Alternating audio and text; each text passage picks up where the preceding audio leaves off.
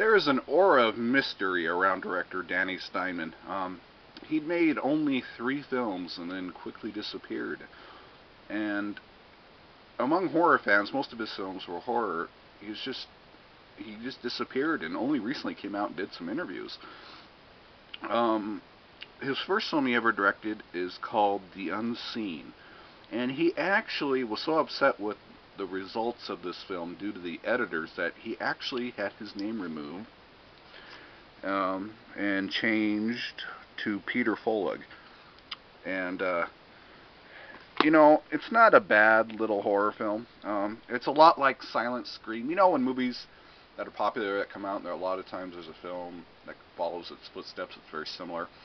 Uh, in Silent Scream, you know, uh, college students stay in a house, and there's this secret person living in the house, and and you know that starts killing him. The same thing with the unseen. Some uh, three beautiful women are staying in this house, and there's something in the house with them, uh, and uh, it starts killing them off one by one.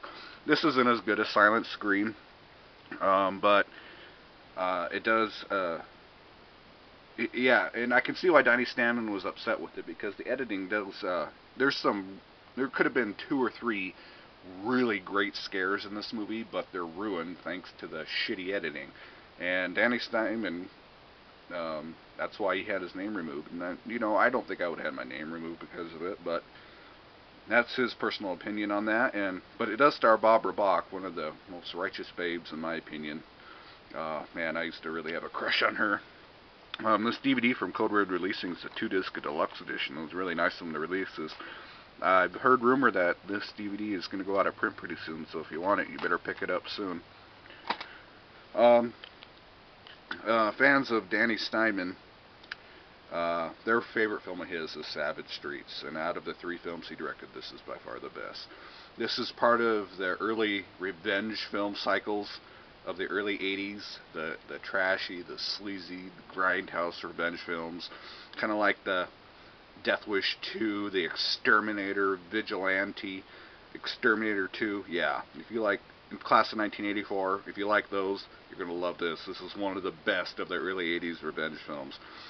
Uh, it's really has a good sly sense of humor, some wonderful one-liners. John Vernon um, from Animal House, he plays a principal. He has a line that just gets me every time. He, Go fucking iceberg. And uh, Linda Blair, of course, uh, she was typecasted after The Exorcist. She couldn't get a job to save her life, so she just did these. She was happy just doing these little B movies, and she made some wonderful ones. And this is uh, one of my favorites of her, probably my favorite film of hers of her B movie era. Uh, oh yeah, she shows uh, she shows off her her breasts in this, so people that like nudity, yep. And she goes uh, her um, her little sister, uh, played by Linnea Quigley. Um, she gets uh, raped, and then all her friends start get killing off, so she goes out for revenge. And oh boy, does she ever with that crossbow! Wonderful one-liners, really violent, good tongue-cheek sense of humor.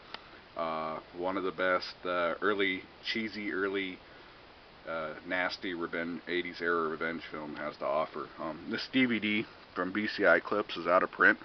I picked mine up before it went out of print, and I only picked it up for like 15 bucks at Best Buy, and then now it goes for a shit ton of money. But it's it's worth it because this is a movie that's worth to pay a lot of money for if you're a cult film fanatic. Then his most seen film is Friday the 13th, Part 5, A New Beginning. Um, this, it, a lot of people hate this film, and the reason why is, well, if you're watching this video, I'm going to give away the ending to this. You know the ending. Jason isn't in this. It is a imposter, and people hate this sequel just for that fact. No, Jason, it fucking sucks. No, no, no. Okay. Forget that fact If you forget that Jason isn't the killer in this, this is a really over the top, really violent sequel. Oh, actually, there's uh, more killings in this sequel than I believe most of them. There's a shit ton of killings and really brutal ones. Danny Steinmann got this job because of Savage Streets. He got the job to direct this, and he brought that trashy style over and just made a, a romp of a slasher film. And I, you know what? you know, it's slasher films. Most of them aren't good.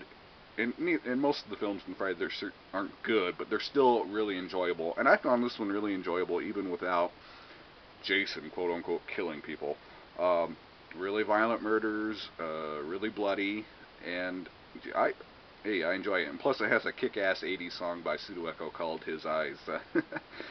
um, so there you go. I find that to be, an, of course, a bad movie, but underrated. Um, and then Savage Streets, that's the one you got to pick up by him. And for the more forgiving cult fanatics, The Unseen. Um, Danny Steinmann was actually um, going to direct in the 80s uh, Last House on the Left Part